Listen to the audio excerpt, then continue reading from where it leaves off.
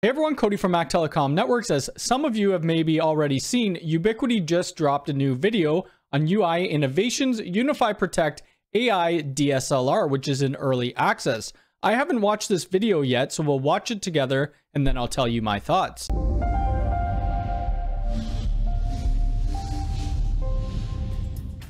Video camera technology has been advancing at an incredible rate. Wider aperture lenses, larger image sensors, and greater resolutions translate to more astounding capturing experiences. So why not bring these advances into a video security platform? Welcome to Unifi's latest video security camera innovation, AI DSLR.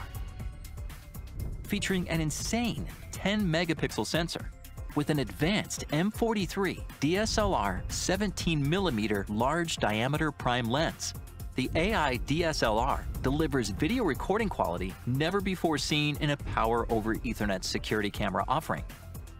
Capture clear content in extreme lighting conditions, create beautiful video time lapses, and capture image details previously impossible to do with traditional security systems. Ubiquiti rethinking IT. So that was a really short video, but it was really cool. In Unifi Protect that they're using, something new that I see is this little clipboard. I don't know if that's used for their notifications.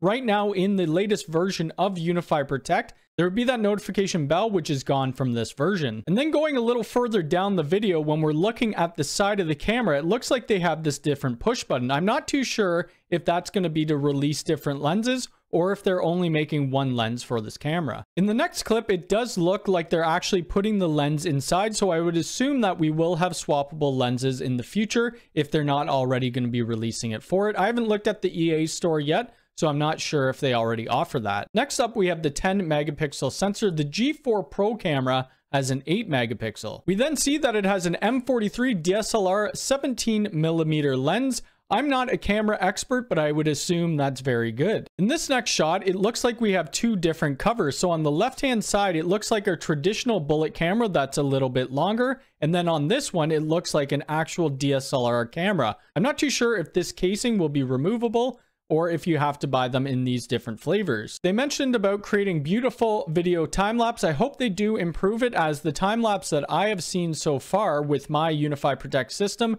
isn't the best, but I think that could be fixed with software. Now they're speaking about capturing images that were impossible to do with traditional systems, and they're pointing towards a license plate.